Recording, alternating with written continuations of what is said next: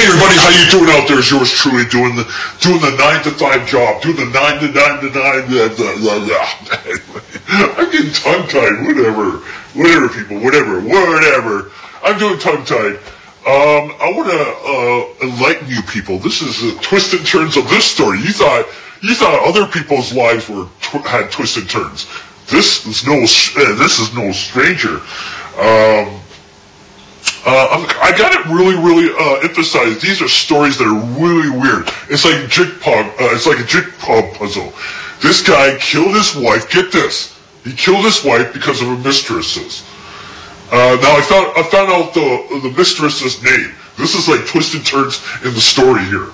He, he uh, so the uh, the husband killed his wife with his two daughters to be with the mistress. Do you follow me, kind of thing? I mean, why, why would a husband go this length to do this? I mean, that's, that's absurd. Don't you, don't you think people say it should be absurd? You know, he killed his wife, two daughters, just to be with the mistresses.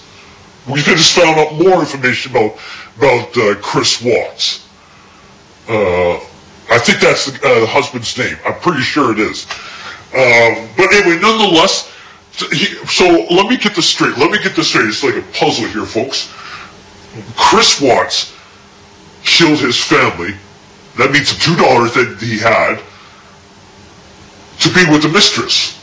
We just found out on a news story. I mean, this is silly as it thinks, as it seems.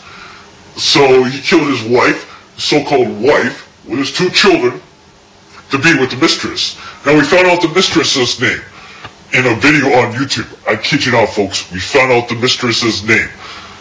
Um, yeah, this is a